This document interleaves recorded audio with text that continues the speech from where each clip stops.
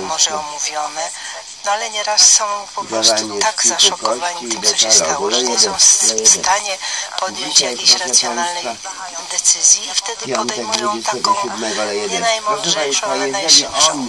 No i dobrze, jeśli jest ktoś, kto pomoże tą decyzję jakąś podjąć. Trzeba uszanować zarówno decyzję na tak, jak i na nie. Czy dobrze zrozumiałem, że decyzja o tym, że chce się zostać dawcą powinna być w jakimś ja- sensie decyzją wspólną, decyzją rodzinną, jeśli to możliwe oczywiście. No na pewno tak, na pewno tak, dlatego że yy, w, wtedy nikt nie zakłada, że straci kogoś z rodziny, ale potencjalnie takie sytuacje się zdarzają. Jeśli wiemy, jakie jest nastawienie yy, danej rodziny, no to spokojnie podejmujemy taką decyzję, zarówno na, na to, żeby się zgodzić na pobranie, jak i na yy, zaprzeczenie temu, bo każdy ma swoje jakieś moralne wytyczne, których się chce przy, przy, zatrzymać dla siebie i koniec i nie dyskutujmy. Ale jednocześnie wiadomo mi, że jest bardzo dużo ludzi, którzy chcą oddać, ale po prostu nie wiedzą jak, jak to krótko mówiąc załatwić. To za chwilę doradzimy, jak to zrobić. Tylko chciałbym podkreślić bardzo istotną rzecz, na którą Pani zwróciła uwagę. Trzeba uszanować każdą decyzję. Ważne każdą słowa. decyzję, każdą decyzję, dlatego że y, y, nie, wyobrażajmy sobie, że ten, kto się nie zgodził, to zrobił to ze złej woli. Zrobił to, bo ma takie przekonania i koniec, nie dyskutujmy. A w emocjach pojawiają się takie myśli? Oczywiście, że na w emocjach to się tyle rzeczy pojawia, że lepiej nie dyskutujmy.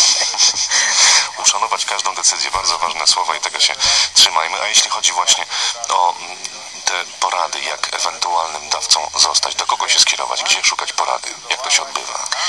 No, przede wszystkim takie akcje jak dzisiaj, że obchodzimy ten dzień donacji, wobec tego no, kto, może komuś wpadnie w ucho ta, y, ta wiadomość i się przez moment za, zastanowi, może wróci do, to, do tego przy jakiejś rozmowie z bliskimi osobami. W związku z tym sprawa jak gdyby się to nie musi być sformalizowane, bo, bo nawet sformalizowane, e, sformalizowana zgoda podpisana na takim blankieciku może być potem zakwestionowana przez rodzinę, bo ponieważ rodzina powiedziała, a wczoraj ja z nim rozmawiałem i on powiedział, że głupio zrobił i się nie zgadza na oddanie. W związku z tym tylko i wyłącznie rozmowa i, i świadomość rodziny o drodze ekstra do bierzmowania.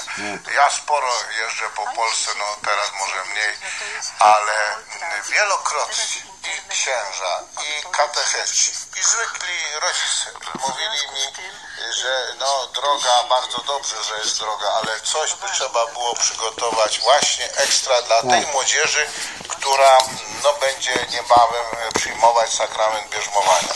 Tego nie udało nam się zrealizować przez wiele, wiele lat. Ja teraz mam słabą pamięć, ale to ponad chyba z 15 lat temu, kiedy pierwszy raz mi ksiądz powiedział gdzieś tam nad morzem, no dobrze, że jest droga, ale jeszcze Teraz coś, nie ma młodzieży, teraz dodatek, stare malutkie wszystko, stare malutkie. temat Bierzmowania trzeba, żebyście podjęli.